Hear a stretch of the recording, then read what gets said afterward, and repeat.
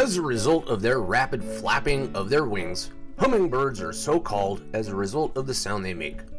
They are native to the Americas, with the bee hummingbird the smallest bird species, weighing a mere 0.1 ounces, found in Cuba and neighboring islands. They are best known for two reasons their aerodynamic flight ability to hover, and their contribution to spreading pollen between flowering plants. This is an excellent example of mutualistic symbiosis, where two differing species benefit one another. The birds require the nectar from the plants, and the plants benefit because the birds spread pollen around.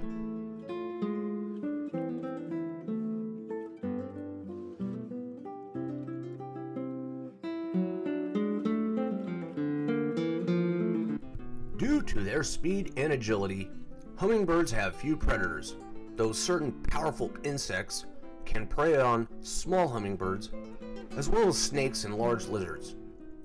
It is believed that males do not participate in raising the young, and incubation lasts less than three weeks. The Aztecs made and wore talismans from hummingbird parts that represented energy and hard work.